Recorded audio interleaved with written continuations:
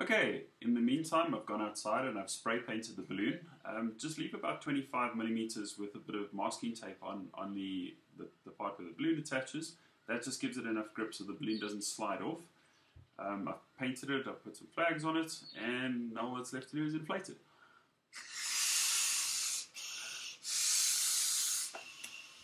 And there you go. The balloon boat's complete. All you need to do is find a body of water to play in. Um, if you've got any questions, leave them in the comment bar below. And uh, I look forward to making another video for you guys. Okay, bye.